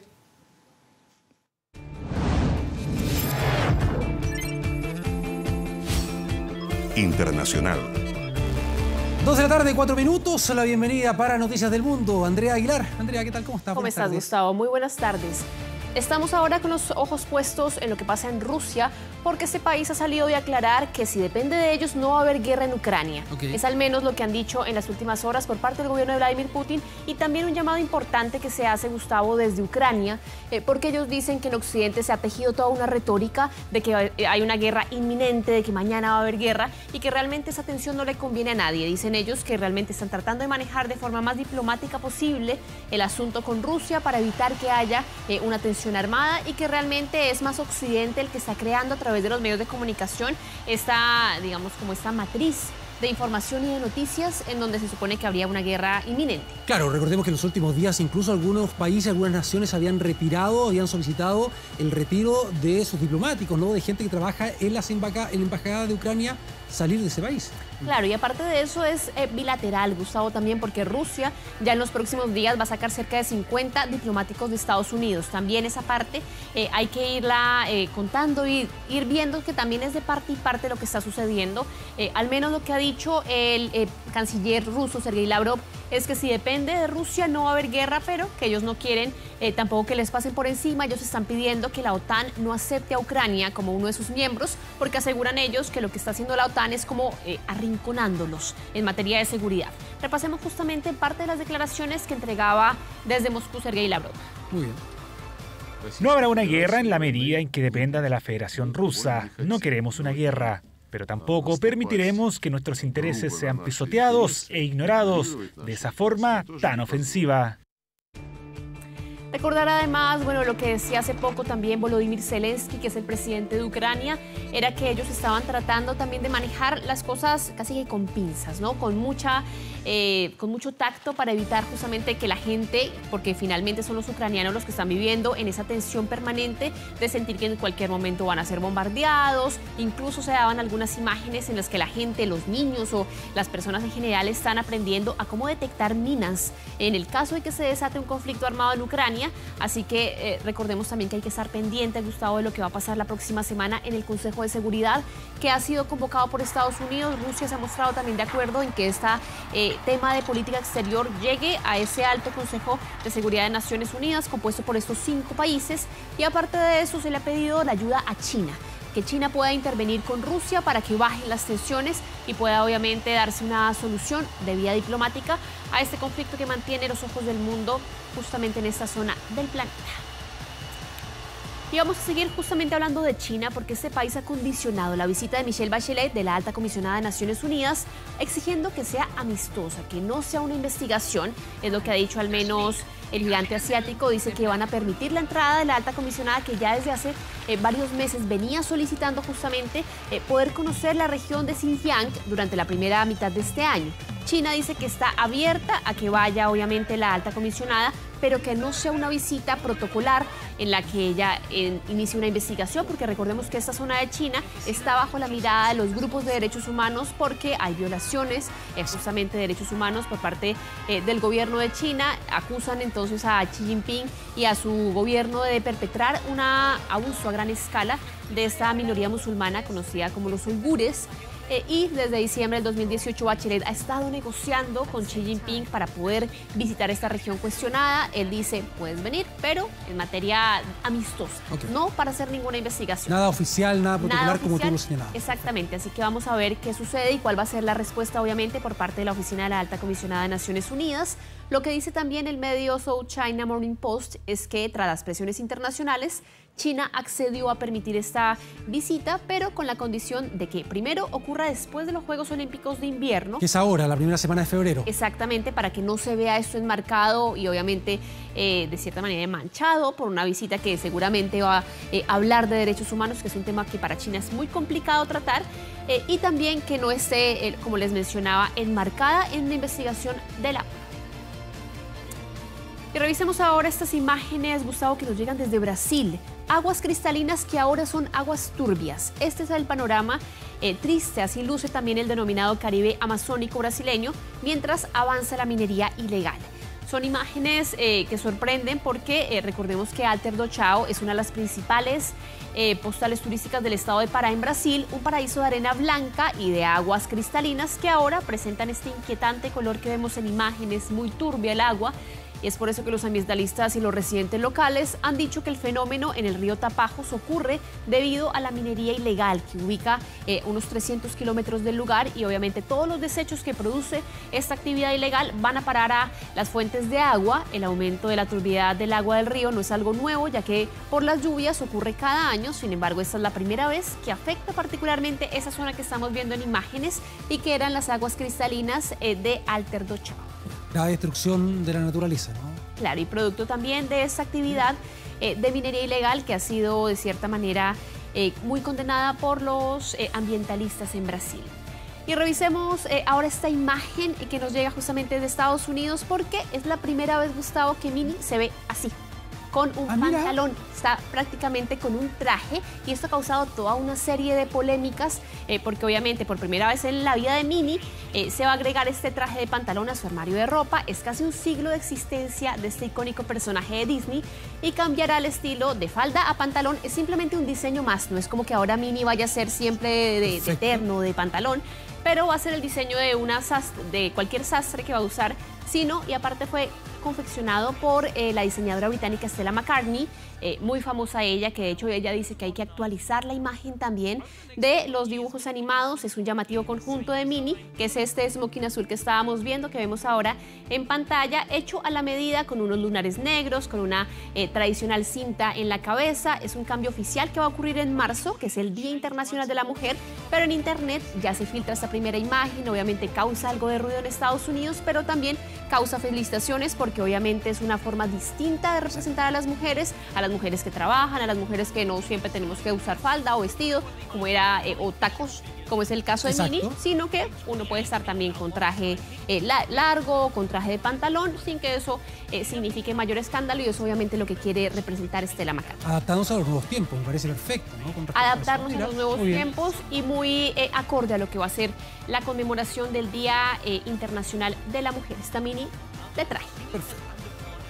Y revisemos ahora, Gustavo, imágenes que llegan desde Asia. Un impresionante hundimiento de tierra hizo desaparecer en cuestión de segundos cinco autos que estaban en este lugar. Son imágenes que han causado impacto en las redes sociales porque en ellas se puede, de hecho, escuchar a la persona cuando grita mientras la tierra cede. Vemos ahora esa imagen de cómo es cuestión de segundos. Eh, se escucha justamente ahí también la persona que está gritando y en un momento a otro se produce este fenómeno, que hay que decirlo, se provoca por la rotura de un drenaje y del hundimiento del suelo. En el lugar obviamente llegaron los eh, bomberos, los rescatistas, debieron cerrar la zona al público. Afortunadamente nadie queda herido ni fallece, eh, pero es bien impactante la imagen. Decir también, Gustavo, que eso tiene eh, algún tipo de relación con las lluvias que han afectado Malasia en los últimos días. Eh, se confirmó entonces que no hay víctimas fatales, pese a la magnitud de esta imagen muy impresionante que vemos en pantalla. Sin duda, ¿no? Eh, me parece que ya había una advertencia porque hay personal de seguridad. De hecho, hay dos personas que justo logran retroceder cuando ya el terreno comienza a ceder, ¿no? Exacto, se ve como el suelo ya está casi como cuarteado, como que se, es muy claro que va a ceder el terreno y se produce entonces esa imagen impresionante que nos llega desde Malasia. Pero bueno, afortunadamente no eh, víctimas fatales ni heridos eh, en medio de este, de este evento en Malasia.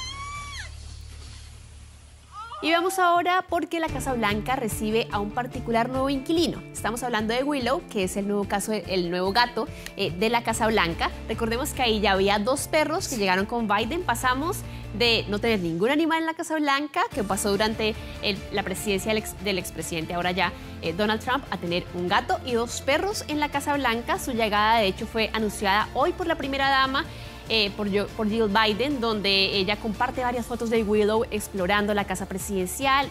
Eh, tiene dos años, es gris, tiene esas rayitas eh, blancas. Su nombre proviene de Willow Grove, que es el pueblo natal de Jill Biden en Pensilvania. Willow, recordemos que es sauce en inglés. Y la incorporación de este felino se había prometido durante la campaña presidencial. Había mucha expectación. Todos los medios estadounidenses se preguntaban cuándo y dónde iba a llegar este famoso gato hasta que finalmente sucedió. Lo vemos en imágenes viendo desde la Casa Blanca, vigilando todos sus terrenos, que son bien amplios por decirlo más. Willow cambia su modesta granja por una de las casas más famosas del mundo. Ahora es famoso Willow. Ahora es famoso Ahora es famoso. Va a cambiar su vida. Poleras con la imagen de Willow. Exactamente. Se suma entonces a los dos perros que tenía Biden, que uno de ellos de hecho tuvo que volver para ser entrenado porque mordía a los guardias. Pero bueno, esperemos que Willow sea bien amistoso. Muy bien. Lindo gato también.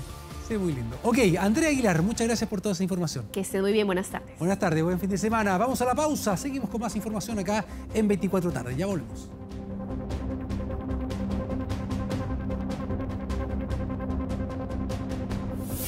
Ya volvemos con 24 tardes.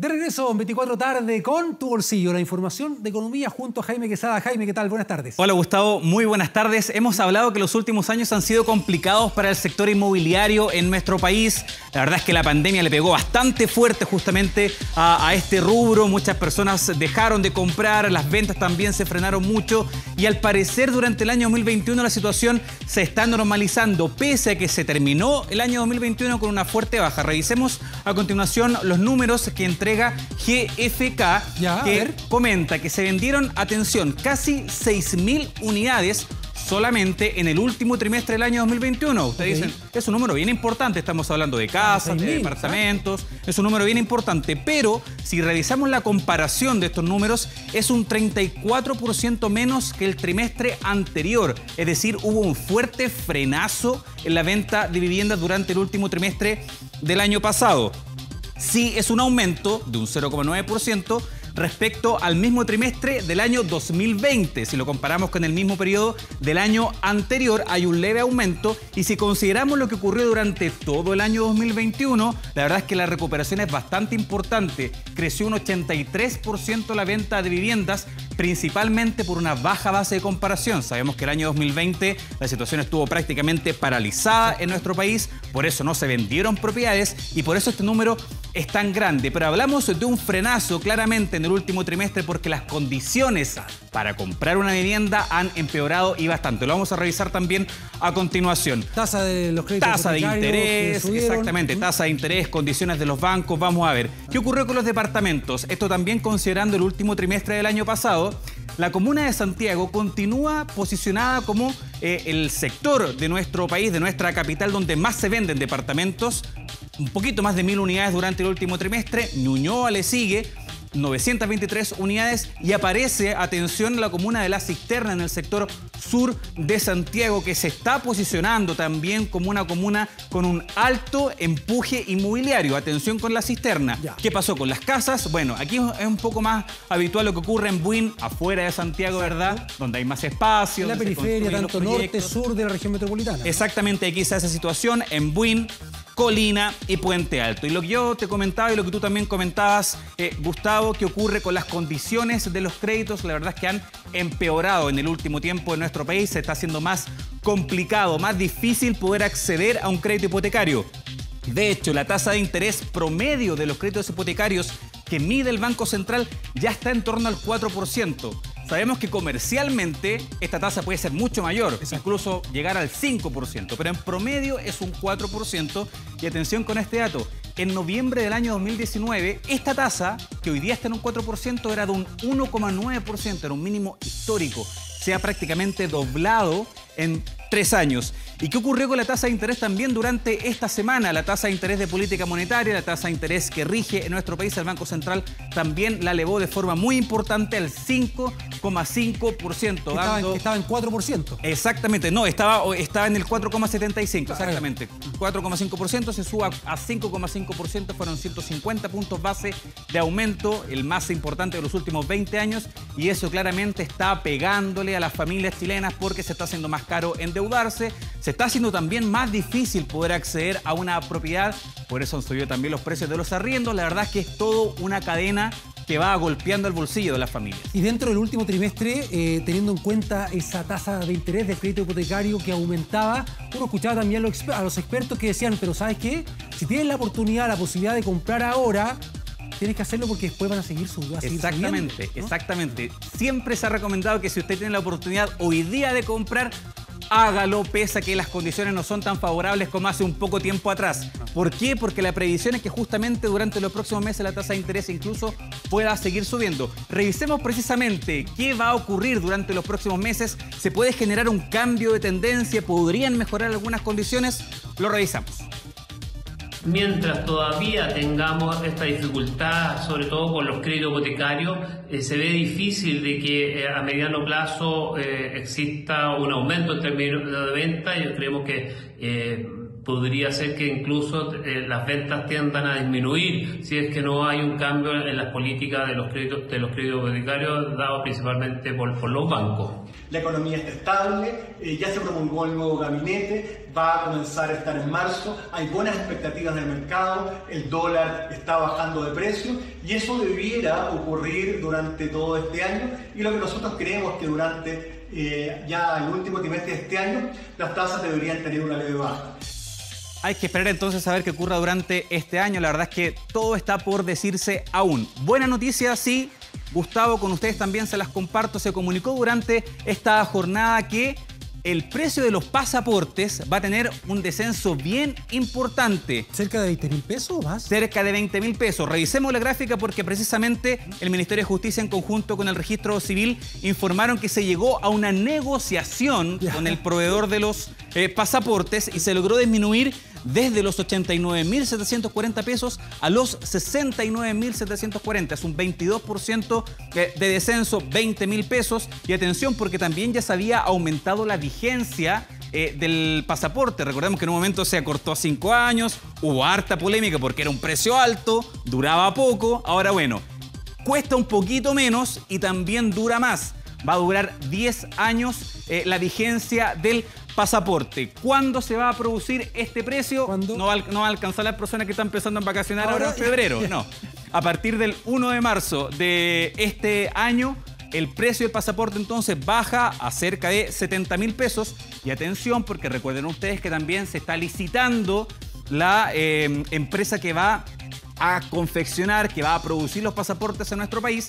Y la perspectiva es que a partir del año 2023 ese precio de los 69.740 siga bajando. No sabemos todavía cuánto, pero la perspectiva es esa, de que el valor del pasaporte, este documento tan importante, siga cayendo en nuestro país. Revisemos qué dijo el ministro de Justicia, Hernán Larray.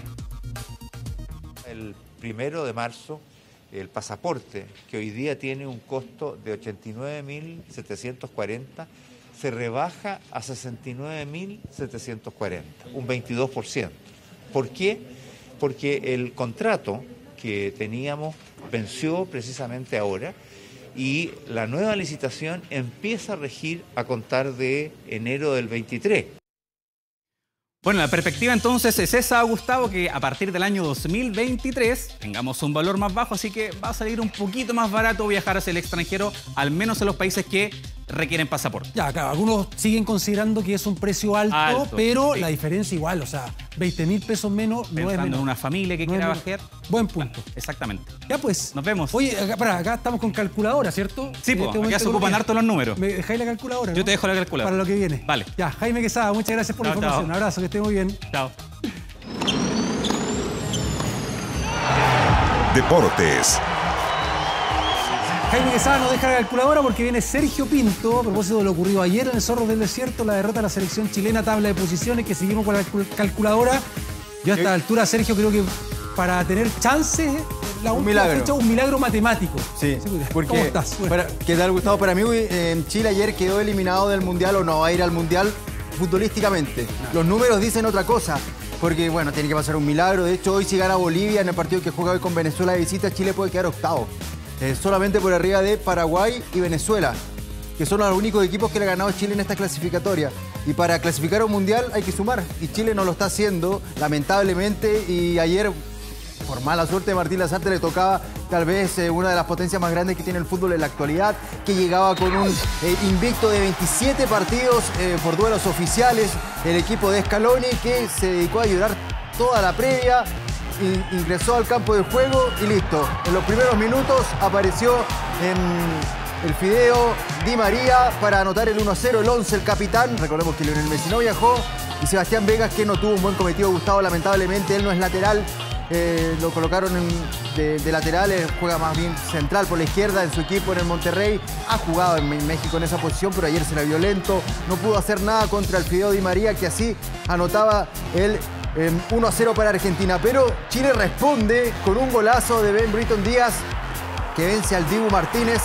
Un poco flojo, decían los colegas argentinos, pero la definición fue extraordinaria de, de Britton y ya suma y suma goles, ya tiene cuatro anotaciones con la camiseta de la selección en estas eliminatorias y como decía el chavo sin querer queriendo, está tomando la posta Gustavo de, de la generación dorada. Tal vez nunca lo pensó, nunca lo está, ni siquiera pasa por su mente, pero de a poco está, está pasando aquello junto a otros jugadores que, tal vez no son tan jóvenes como Montesino, que tal vez también está pidiendo camiseta, porque en el segundo tiempo cuando entró se notó. No es que entró y, anduvo corriendo. Estoy de acuerdo. Y, y la figura. Sí sin haber jugado en la altitud, bueno, pero se preparó para eso y lo demostró. Con las cámaras. Acá, acá un error, Gustavo, de, de Bravo, de, de la banca de Chile, porque ya estaba pidiendo el cambio hace cinco minutos. Yo no sé por qué no se tiró al piso. Y uno dice, ¿pero está realmente lesionado? Bueno, la consecuencia es que Claudio Bravo en pocos minutos más va a tomar un avión y se va a venir a Santiago. Va a ser desafectado de la, de la mm, selección, no va a jugar en la altura de La Paz con Bolivia. El nominado Zacarías López, el arquero de Deportes La Serena.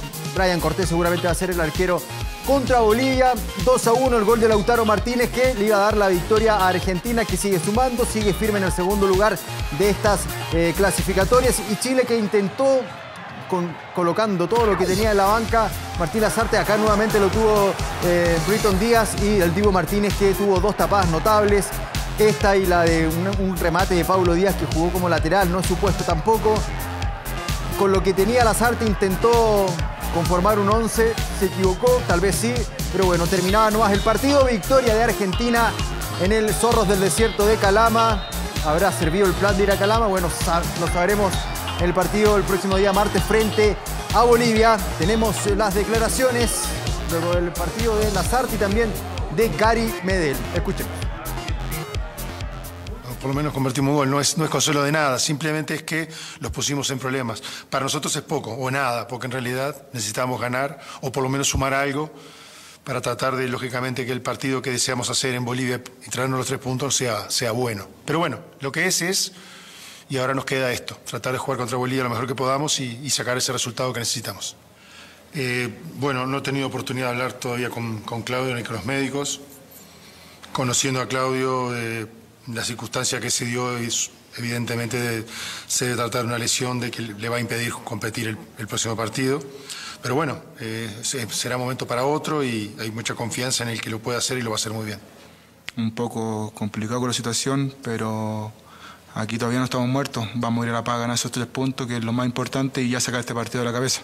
Nosotros vamos a seguir luchando, peleando por nuestro objetivo que ir al Mundial y eso no nos va a quitar nadie la esperanza, la, fe, eso lo vamos a luchar hasta el último minuto como lo hemos hecho siempre. Claro, habrá fe, habrá esperanza, Gustavo, pero los números son rotundos contra Chile. Em, de hecho, hay dos partidos hoy. Juegan eh, equipo peruano con Colombia. Con Colombia. Si uno de los dos gana, ya es prácticamente imposible. uno, el que gane le saca ya cuatro puntos de ventaja a Chile. Y además está el otro partido, que se juega a las 7, el de Colombia-Perú a las 6 y el otro a las 7, que si gana Bolivia de visita a Venezuela, nos pasa también. Sí, y queda con 18 puntos y el próximo rival es Chile, de, Bolivia-Chile en la altura de La Paz. Y, tal vez, eh, bueno, esto va, a desencadenar todo un proceso de, decisiones en la directiva, si es que sigue Pablo Milato o no, eh, cuando termine este proceso clasificatorio y si Chile no va al Mundial, se acaba de inmediato el contrato de Martín Lazarte. se va a tener que empezar a ingeniar traer otro técnico, eh, hay que pensar ya en el Mundial del 2026. Los de la generación dorada ya prácticamente no, salvo algún caso excepcional, va a llegar con, edad y con fútbol para jugar ese mundial. Tal vez puede ser el momento de dar vuelta a la página. Eh, eh, esta generación lleva jugando, ¿cuánto, Gustavo? ¿10, 12 años al más alto nivel? ¿Se le puede pedir algo más? Difícil. Luego comienza una, situación natural, ¿no? Curva descendente en la carrera de, los futbolistas. Algunos ya han aguantado eh, harto, como bien lo señalas tú, pero claro, después para la próxima clasificatoria, en el caso, por ejemplo, de Arturo Vidal, de Gary Vidal, que van a tener ya Hoy tienen con 34, 33 años. Bravo. Va a costar, imagínate. Bravo. Así que, bueno, se vienen momentos complicados para la selección chilena, pero no fue el único partido que se jugó el día de ayer, se jugaron dos encuentros más. Aquí está un partidazo con polémica. Este fue el empate entre Ecuador, que ya vamos a ver la tabla de posiciones que ya los deja casi en el Mundial. ¿ah? Sí. Con Brasil de local. Aún no matemáticamente clasificado está. Está listo, quedan tres partidos. Eh, acá está el gol de Casemiro. Vamos a ver acá el centro. Y va a ser Casemiro, el volante muy bueno del Real Madrid, que abría la cuenta allá en Ecuador. Partido que terminó con expulsados, con reclamos. Acá está Karate Kid, ¿ah? el arquero Domínguez. Y esto recordar a Arturo Vidal, ¿no? Y Vilma Roldán que no lo había visto. No, no, no había cobrado nada. No había cobrado nada. Juegue, juegue, dijo. El bar. Expulsado. Y mira, acá se va a ver la imagen de cómo le queda el cuello a, a Mateo Cuña. Y entra el portero Universidad de Chile. De la U Galíndez, que tuvo un buen cometido, un par de tapadas buenas acá. Otra jugada polémica. El juez de partido, sin dudar, esto es penal. Lo llaman del bar. Lo va a revisar Aquí sí, atrás. Aquí sí que yo creo que era una, más difícil para era Difícil, era más, En esa instancia eh, era más cobrable que otra cosa. Sí, acá está eh, el gol de, Ecuador, que va a ser el, último gol de este partido. 1 a 1. Ecuador-Brasil. No es fácil sacarle puntos a Brasil. Acá otra de las jugadas polémicas. Alison Becker. Lo expulsaron dos veces el partido. Pero no se fue finalmente, no, siguió jugando. Lo de Gracias al VAR. Gracias La hizo toda. Acá el VAR nuevamente pie atrás. Para Rodán terminar el partido con reclamos, con escándalo. Lo cierto es que los dos ya están prácticamente clasificados al Mundial de Qatar. Y este fue un paso, una gran victoria de Uruguay que nos dolió. ¿ah? Un empate estaba perfecto. Fue 1 a 0 de los uruguayos. Ya vamos a ver la, tabla de posiciones. Los uruguayos llegaban en la previa de esta fecha con el mismo puntaje de Chile. Entonces se escapan con tres puntos. ¿Y qué pasa? Acá vemos, este era Gola, ¿eh? no, no, sé cómo no entró esa pelota. que el próximo rival de los uruguayos de local es Venezuela. Y le queda también con Perú de local. O sea, el calendario de, Uruguay, mientras vamos a ver el gol de Luis Suárez, qué importante tener goleadores también de. extraordinario Luis Suárez, la primera que la agarra, ni siquiera con el pie, con, el pie derecho que, hace, que convierte la mayoría de los goles, lo hace. Bueno, y Paraguay que tenía unas clasificatorias para el olvido, con los eh, mellizos Barros Esqueloto que no rindieron. Y Uruguay rindiendo. Y Uruguay entrenador. También. Por la salida maestro Tavares. Diego luego la salida Tavares. Acá está la tabla, Gustavo. Mira, Brasil, Argentina y Ecuador prácticamente clasificados. Uruguay, ahí está la importancia de esos tres puntos.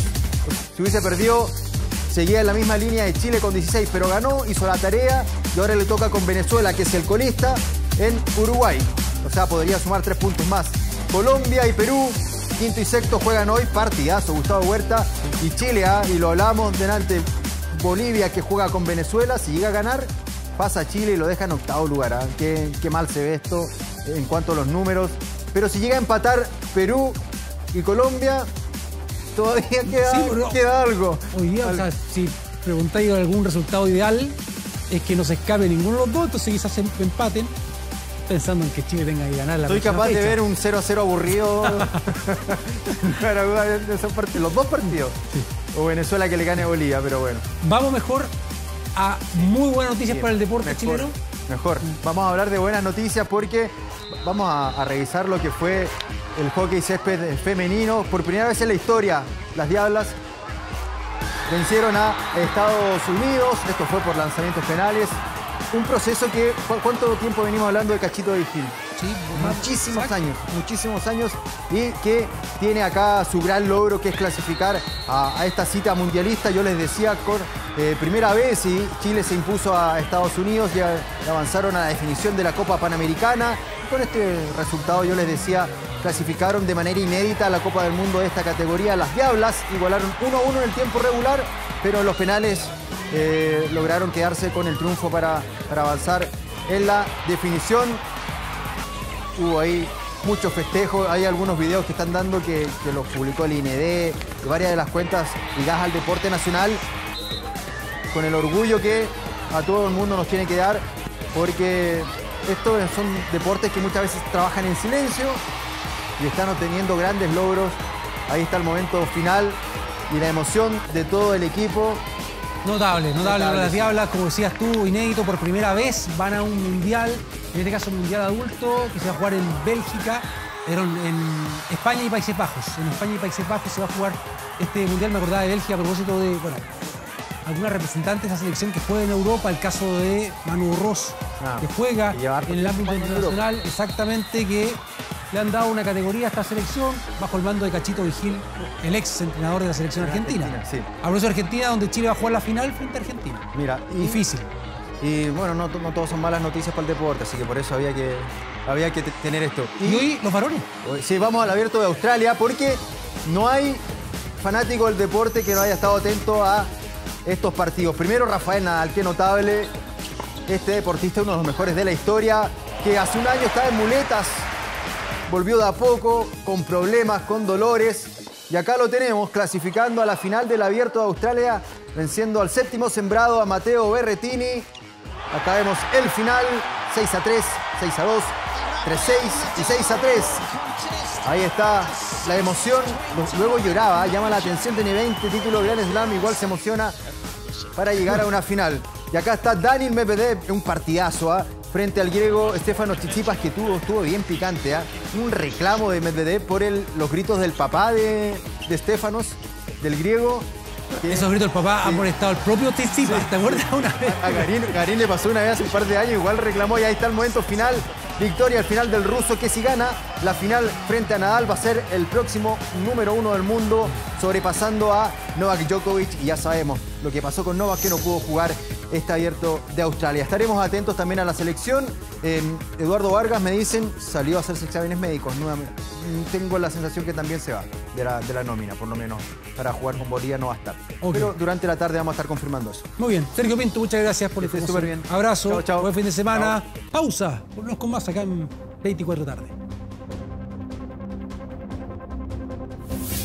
Ya volvemos con 24 tarde.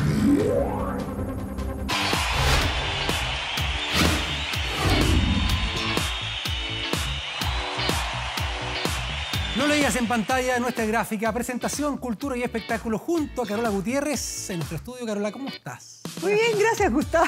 Tantas mañanas que no sabía. Buenos días, buenas tardes. Muy bien, buenos días, buenas tardes. Oye, vamos a hablar de música y nos vamos a poner un poco nostálgicos porque probablemente nosotros no relacionamos el nombre con el catálogo de canciones que nos dejó el legado de Diego Verdaguer, que hoy día eh, su familia anunció que partió. El cantante argentino nacionalizado mexicano murió a los 70 años tras complicaciones luego de contagiarse con el COVID-19 y permanecer hospitalizados hasta desde fines del año pasado en la ciudad de Los Ángeles, ahí en los Estados Unidos, y la familia anunció que es en ese mismo lugar donde será cremado eh, sus restos. Nacido en Buenos Aires el 26 de abril del 51, comenzó su carrera como artista muy jovencito, como a los 17 años, y logró mantener una trayectoria musical de más de 50, con una colección de éxitos radiales. Mira, escucha. Oh,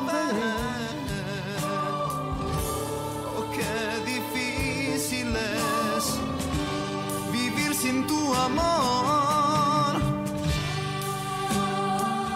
Revisando las canciones, yo decía, como que no le había puesto cara o no recordaba eh, eh, a Diego Verdaguer. Sin embargo, cuando empiezo a revisar las canciones me doy cuenta de que tiene una cantidad tan reconocible de canciones que por supuesto son parte de este legado de éxitos, del quien también fuera eh, esposo, marido de la cantante argentina Amanda Miguel, con quien compartió una trayectoria artística al escribir en conjunto grandes éxitos como Ser la ladrona, Él me mintió.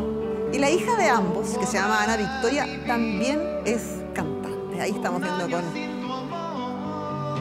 Amanda Miguel. Ahora, otro look sí, ¿ah? Claro, de la época.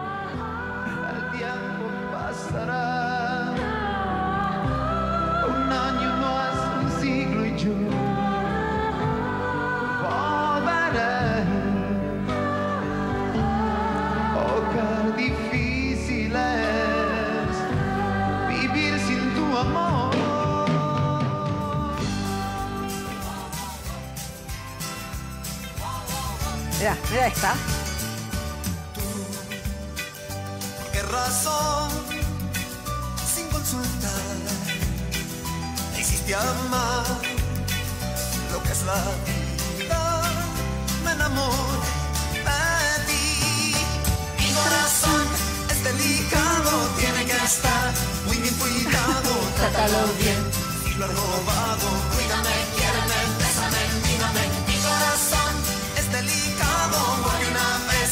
lastimado. Trátalo bien.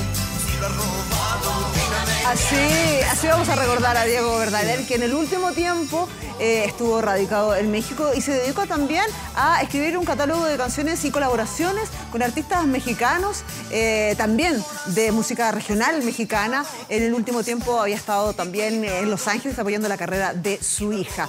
Así lo vamos a despedir y lo vamos a recordar también con ese catálogo de canciones eh, que por alguna razón uno las tiene como en Sí, su memoria. totalmente. Ese coro de la canción está perfecto, ¿no? Claro.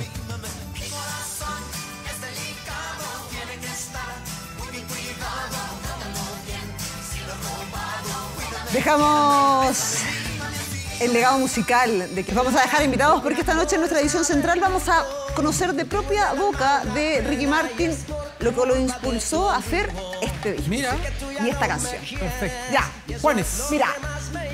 Este video de Juanes de la camisa negra, tú dices, no, pero es que es muy antiguo, ¿cuál es lo novedoso? Es simplemente porque encuentro que es el más representativo de una buena época de Juanes para contarles que ahora el colombiano va a ser reconocido por los Premios Internacionales de la Paz, un evento virtual que se va a realizar el próximo 27 de febrero y que podrá seguirse por el canal de YouTube de la organización. Bueno, esta ceremonia destaca a los líderes mundiales, esos son agentes de cambio y que hacen, por supuesto, filantropía, eh, un sello distintivo en la vida para que avance así la humanidad. Juanes que ha ganado tantas veces el Grammy el Latin Grammy, va a recibir este premio por su dedicación y empoderamiento a los jóvenes y a la paz, un trabajo que realiza desde el 2006 con su fundación Mi Sangre y que tiene como objetivo claramente crear un espacio donde los muchachos puedan superar sus dificultades y por supuesto ser un activo de cambio en sus comunidades, especialmente a los jóvenes colombianos.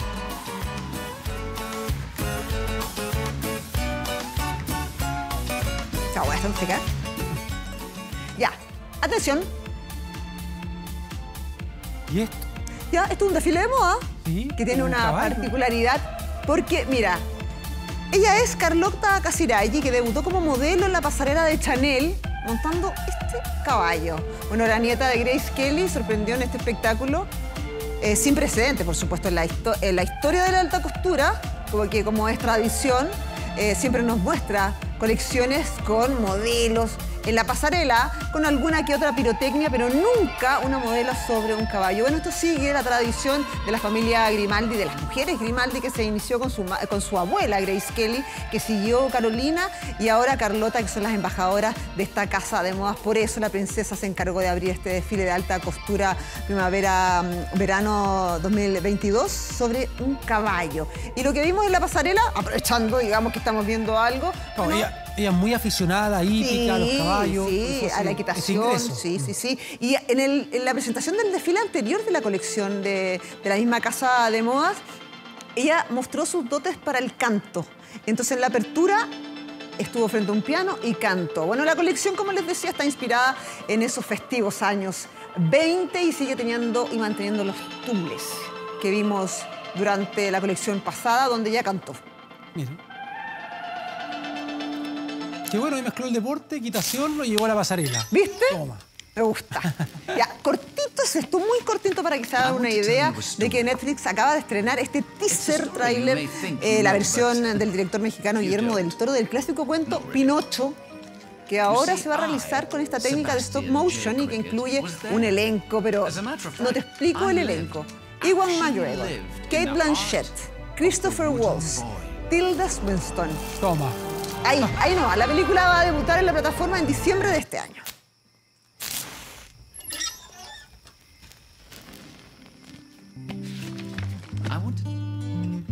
Eh, Ahí se- vamos a tener que esperar. Harto tiempo. Y, que, y hagan más adelanto, más adelanto para poder ver mejor cómo se va a ver Pinocho po, en stop motion. Esto no vamos a tener que esperar tanto. Cuando hoy día nos enteramos que dos presentaciones que estaban agendadas para abrir eh, los fuegos en el mes de febrero, que son la de Iyapu y Denise Rosenthal, que se programaron para abril, abrimos los fuegos para marzo porque el sábado 12 recibe el regreso de quién? Del argentino Pedro Aznar a los escenarios chilenos tras una ausencia de dos años para presentar un show que se llama Tierra de Hermanos, con una selección de éxitos y de algunas canciones junto, por ejemplo, a Víctor Heredia, Elizabeth Morris, Nano Stern, Manuel García, los ex bipolares Camilo Salinas, Danilo Donoso, Fernando Julio. Bueno, si se animan, punto ticket, ahí están las entradas para ver a Pedro Aznar.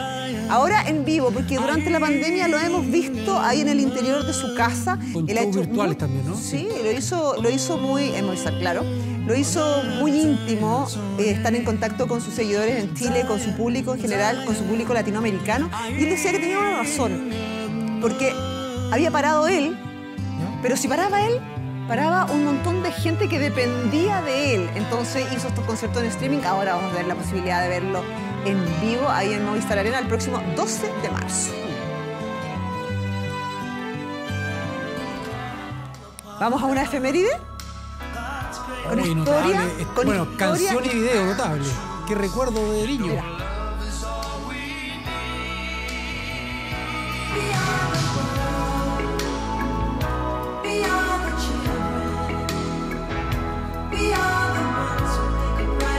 Ya. 37 años han pasado desde que se grabó esta canción que se llama We Are the World de Michael Jackson y otros artistas. Fue el 28 de enero de 1985 que se reunieron más de 40 de las más grandes estrellas de la música para grabar esta icónica canción que buscaba un objetivo muy claro y solidario, recaudar para combatir el hambre en África. Desde un comienzo se quiso que los artistas de color tuvieran un papel protagónico. Primero se sumó el productor Quincy Jones, inmediatamente después Michael Jackson, quien solicitó formar parte también de La canción, según eh, los medios locales, juntar a todos estos artistas fue una gran hazaña porque muchos, por supuesto que querían tener mayor participación, no solo un pedacito del texto de la canción. Incluso decían que a la entrada del auditorio decía un cartel que decía, por favor, dejar los ciegos en la puerta. Pero fue una, una gran iniciativa. que. Una iniciativa que además después se fue replicando y muchos se juntaron para causas humanitarias. Muy bien, Carola Gutiérrez, con esta información, con esta linda efeméride, nos despedimos. Muchas Nos despedimos, por Gustavo. estar acá. Oye, descansa en Bueno. vacaciones. Ya pues, de esta manera despedimos esta edición de 24 tarde. Un abrazo, que tengan un excelente fin de semana.